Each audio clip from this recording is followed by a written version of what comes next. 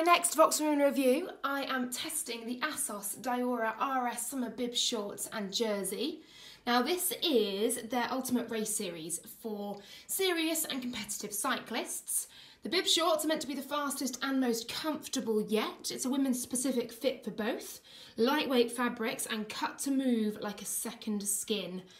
Expecting a very fast bike ride today. So 22k into the ride and the kit is feeling incredibly comfortable. It is snug, it's like a second skin as uh, the description said, but saying that it's lightweight so it still feels very comfortable when you're out on the bike and it's a glorious day. And just one word on the chamois as well. It's a new insert into the Assos shorts and it is so comfortable. Okay, let's talk sizing. It's the one part of the kit that I wasn't too sure on. I normally wear small to medium in most cycling kit, 8 to 10 in clothing brands. I got a medium in this jersey because it has that race fit and a small in the shorts, as I normally would. When I say this kit comes up small, it really does. It's incredibly tight, that second skin feel. I would actually go for a medium in the shorts and a large in the jersey. If you're not sure, size up. If you're between sizes, definitely size up and even think about sizing up one more time again. If, like me, you're bigger as well across the shoulders and across the chest, definitely go for a bigger size with the jersey. I'm not sure it's really designed with that kind of figure in mind.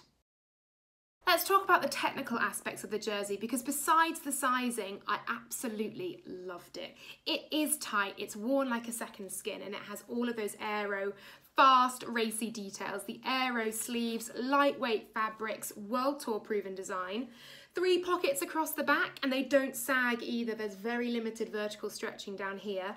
But the fabric along the front, while I said it was tight, it's actually very soft, very flexible, very lightweight. So it moves with you on the bike and that creates a really comfortable jersey. And what about the shorts? Well, as I said, I would recommend Assos shorts to anyone. They are truly worth the price and so incredibly comfortable.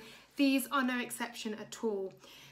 So ultralight leg grippers so we don't have that sausage effect. They also have this lovely waistband here as well, which you cannot feel at all while you're riding. Assos for these have done away with the magnetic closure, the halter neck strap you can see on other shorts, and put in these wider straps here, I really like them actually, and I think they've done this to adapt to a wider range of body shapes as well, which is really good to see. Now, the all important chamois, well, it is locked in, of course, with the Assos A-Lock engineering system, and it means that when you shift on the saddle, the insert doesn't move, so you are constantly supported on those sit bones. Very, very important. The shorts, while you have to size up, are super, super comfortable, and I would wear them for hours on end.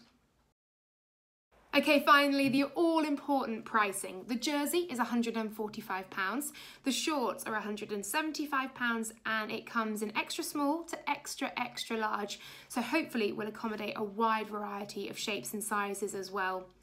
I know the price points are on the higher end for women's cycling kit, but that's what this kit is. It's high end, it's quality, world tour proven designs, an aero race kit for serious and competitive cyclists. If that's you, this is well worth the money. Just watch out for sizing. For more reviews, head to www.voxwomen.com and I'll see you all soon.